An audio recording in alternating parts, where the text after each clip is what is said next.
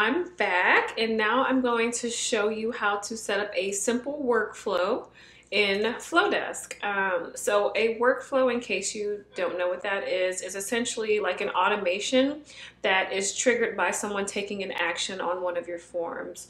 So um, someone goes to your website, sees the pop-up for them to subscribe to your newsletter, and um, you have an automatic email that says welcome to the newsletter. Like that's an automation that's a workflow. Same thing with your freebies. They go to your website want to download the freebie they give you your their email address. You have a workflow that automatically sends them the freebie download as well as like a sequence of emails to keep uh, marketing to them. So i'm going to show you how to do a simple version of that. So if you and go to workflows I have a bunch of them set up, but I'm going to show you how to set one up from scratch. So create new. The beauty of Flodesk is that they actually give you a bunch of these already pre-done. So um, they know that typically you're going to do like a welcome sequence you're going to be nurturing so welcome sequence is pretty obvious you're welcoming them to like your newsletter list a nurture sequence is when like a lead um, signs up for something perhaps it could be like a freebie or they were interested in something that was a, supposed to be a one-off thing you want to keep nurturing them to warm them up to actually you know buy from you you can do, do your lead magnet delivery or a sales sequence the most common one i'm going to do is the lead magnet delivery so i'm going to show you how to do that one you can get a preview of any of the options that they provide um, just by clicking on it and then you can scroll and see everything. It's very simple. So I'm going to show you how to customize this.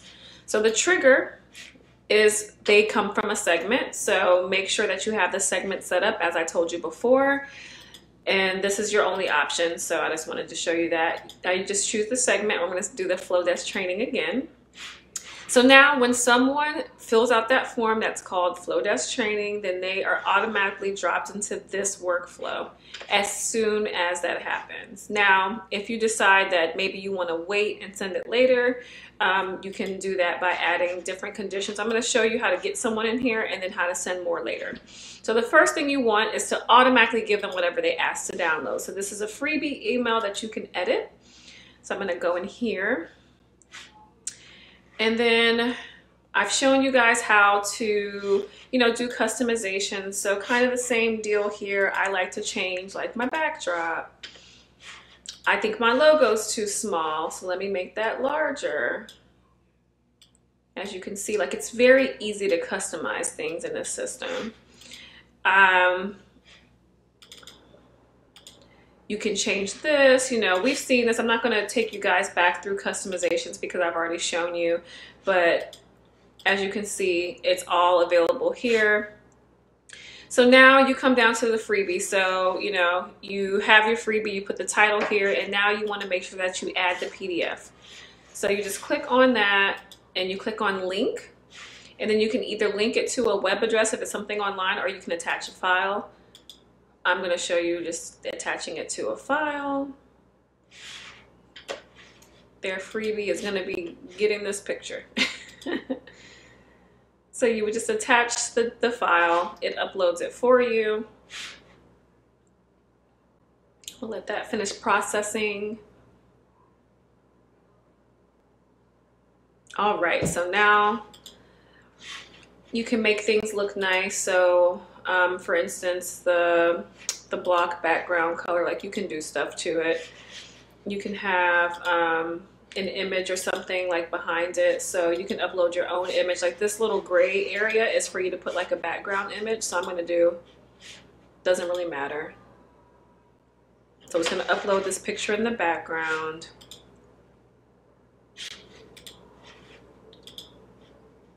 You can change anything about this that you want to change. It's very, very easy. I might have interrupted the image upload. Yeah, sorry about that. Let me go ahead and do that real quick again. You got to let this finish, so that's something to note that um, it needs to actually finish uploading before you click off of it. So once that uploads, look at that. And now I'm like, oh, I don't like how that looks, so I want to change this, you know.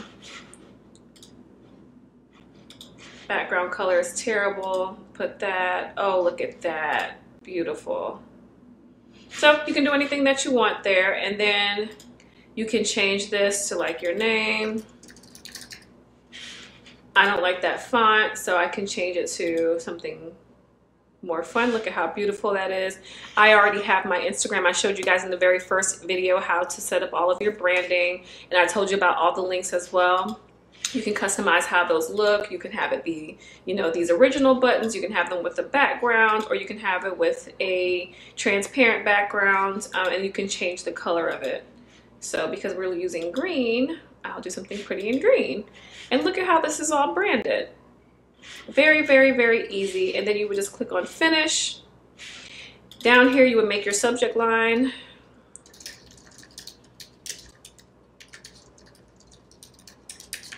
do that and then preview text is just like when you're going to like looking at your phone at your Gmail um, you'll see the title like the subject line and then you'll see like a little blurb of something. That's the little blurb. So you can enter whatever you want for your little blurb. And then that's it. So then the next time okay so you send them that freebie but you want to keep nurturing them. So you would add something next. Um, you don't want them to get two emails in one day. So let's set a time delay. Time delay gives you four options. You can have it for a certain period of time, like one day, one hour, you know, whatever you want to do. You can have it a certain day of the week. On Mondays, you want to email them, you know, every single Monday, a certain time of day. For instance, I had a sales email that was going out every day at 6 p.m. So you can do something like that or you could do it a specific day of the year. If this is like a birthday email sequence, then you would, you know, do whatever you want. Or if this is like a, you do this every year, like a New Year's resolution sequence, you can do that every time. So um, the easiest one is period of time, and I'm gonna wait one day.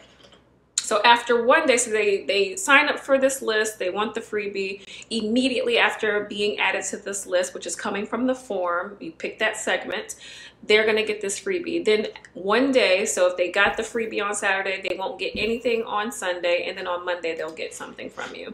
So you're gonna send an email. So let's see, I don't have any, oh, I can duplicate emails. For the sake of time, I'm gonna just grab one of my old, my other emails that I have. So I'm gonna grab that, throw that in here. And then I'm going to add another thing. So, okay, say you want to add conditions like, okay, did this person actually click on the link? And if they did click on the link, I want this to happen. Or are they not opening things? So you can do conditions. So let's do a condition.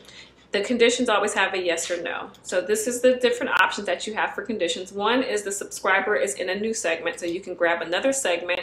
When they are added to a new segment, then they can get this um, if they opened one of your particular emails. So it's warning you that they're going to check this immediately. So one day has passed. As soon as they get this one, they're going to check that. That's fine. So the freebie is attached, or the and this one are the only two emails. Did they actually open this email? That's what I wanted to check. If they opened this particular email, then something can happen. But let me show you the rest of your options you can have subscriber has clicked the link in an email. So it's going to check the two emails that you have in this. It's going to say, okay, which two links, what do you have as a link in here? So in this one, I only have one link in the, oh, there's several links. It'll let you do like Instagram, Twitter, any links that you have in that email, it will allow you to use as a point of reference to say, if this person clicked this link, let me do this. And then the last option is a field matches. This is very, very specific. So either a website address, uh, their last name, or their first name. So it's very specific. So if you want everybody whose name is Sarah to get something, you can do that, which would, I don't know why you would do that. so in this instance, I'm going to say they opened an email. That's going to be my condition. And did they open this website audit email? All right. So now if the answer is yes, then I want to do another time delay. I'm gonna wait another day and then I'm gonna send them another email and I'm gonna duplicate just for the sake of time. I'm just gonna grab this and send this to them. Just click on make a copy. And then if the answer is no, then I am going to um, send them something right away. And again, you would just send something just reminding them like, hey, you still have an opportunity to get this thing, whatever you want to do. Okay? So it's really, really easy to add time delays, to add conditions.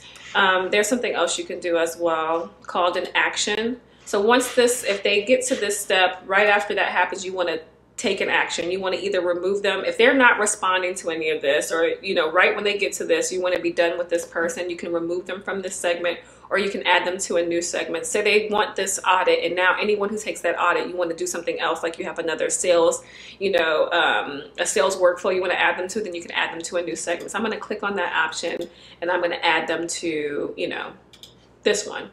So now when they go through this, as soon as they get that, they're going to be added to a new segment. So those are all of your options of things that you can do. Um, you can do actions, you can do conditions, you can do time delays, or you can just add an email. It's very, very easy to do workflow. So now when you pick all of the things that you want to happen, you would click publish.